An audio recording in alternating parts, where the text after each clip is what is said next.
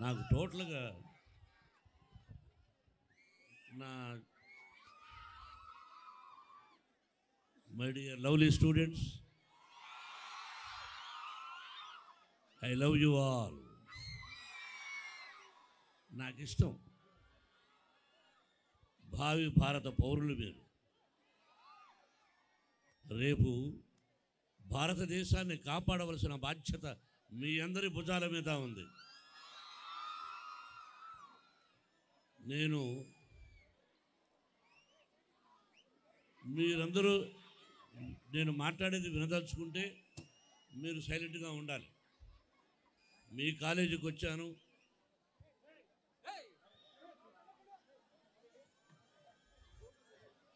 తమిళనాడు నుంచి మన బిడ్డ తెలుగు బిడ్డ తమిళనాడు బిడ్డ అన్ని రాష్ట్రాల బిడ్డ విశాల్ ఇక్కడికి వచ్చాడు.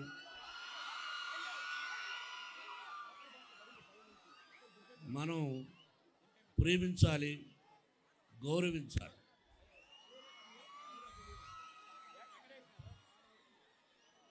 మీరు అరవకుండా ఉంటేనే మాట్లాడతాను లేదా మాట్లాడలేను. నా. మీరు సైలెంట్గా ఉంటేనే మాట్లాడతాను లేదా వెళ్ళిపోతాను.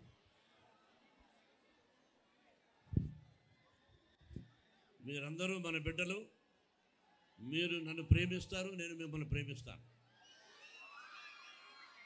నా సినిమా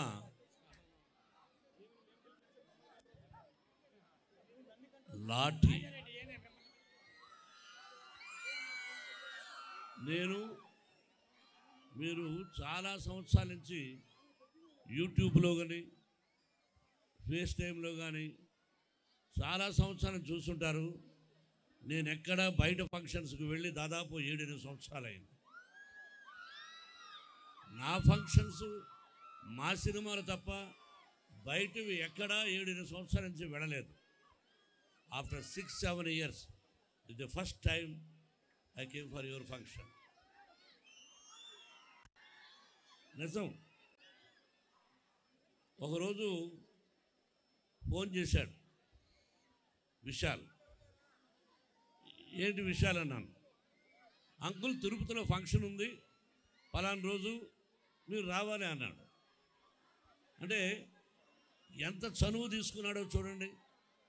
ఫోన్ చేసి వచ్చామన్నాడు నేను ఏం చెప్పలేదు వస్తున్నాయా అన్నాను అంటే వాళ్ళకు నాకు ఉన్న అనుబంధం ఏమిటంటే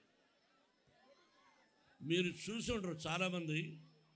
ఎం ధర్మరాజు ఎంఏ అనే ఒక అత్యద్భుతమైన సినిమా వీళ్ళ నాన్నగారు నన్ను హీరోగా పెట్టి తీసినటువంటి సినిమా. మీరు ఇంటికి వెళ్ళి చూడండి ఎప్పుడైనా ఎం ధర్మరాజు ఎంఏ ఒక కొబ్బరి చెప్పులు ఏరుకునేవాడు ఒక ఎమ్మెల్యే వాడి నిజమైన క్యారెక్టర్ చూపిస్తారు ఆ సినిమాలో. కొబ్బరి చెప్పులు ఏరుకునేటప్పుడు ఎలా ఉన్నాడు? ఎమ్మెల్యే అయిన తర్వాత వాడు పొజిషన్ ఏంటి? ఇటువంటి గొప్ప చిత్రం. ఈరోజు ఆ అనుబంధమే ముందుగా వాళ్ళ అమ్మగారికి నాన్నగారికి నా హృదయపూర్వక నమస్కారాలు తెలియజేసుకుంటున్నాను. నా నిర్మాత ఆయన.